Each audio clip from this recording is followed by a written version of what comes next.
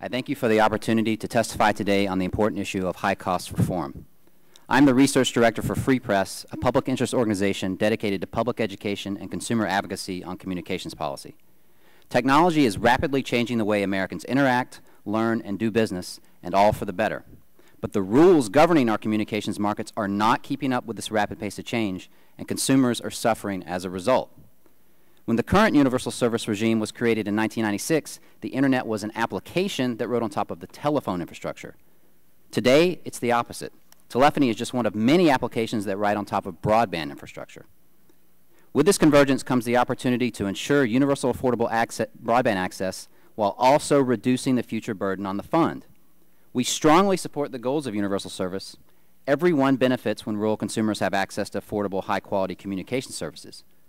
But as advocates for the consumers whose monthly bills support the fund, we want to ensure that our system of universal service is both fair and efficient. Consumers in the 21st century marketplace should not be forced to subsidize a 20th century technology. We believe a bold and transformative shift in USF policy is needed.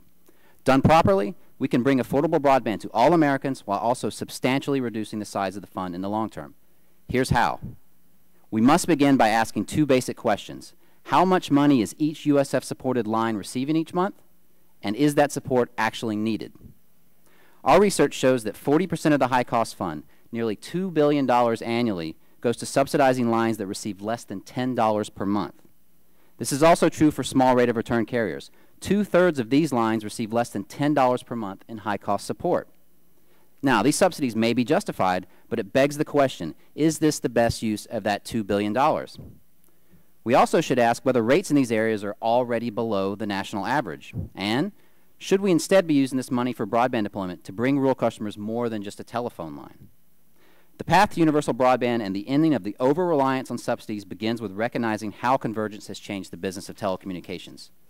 Before broadband, carriers were only able to earn perhaps $20 per customer each month selling local phone service. In today's converged world, a carrier can earn well over $100 on that same line by offering phone, TV, and Internet services. Unfortunately, our current regulatory structure does not account for this potential, ignoring that with this additional revenue, many high-cost carriers can operate profitably without ongoing subsidies. Instead, it tries to clumsily separate out regulated from unregulated costs and revenues and really results in overpayments and anti-competitive subsidies. As an alternative to this broken process, we suggest basing ongoing high-cost support on total revenue earning potential and forward-looking infrastructure costs calculated for each carrier on a granular disaggregated basis. This modernized regulatory structure will reduce the need for ongoing support as many carriers will be able to recoup network costs and earn healthy profits from triple play services. However, for some carriers, the upfront cost for deploying broadband into currently unserved areas is just too high. Here is where we have the opportunity to turn the regulatory structure on its head. We should use the fund to pay these upfront costs and then only provide ongoing support where it is truly needed.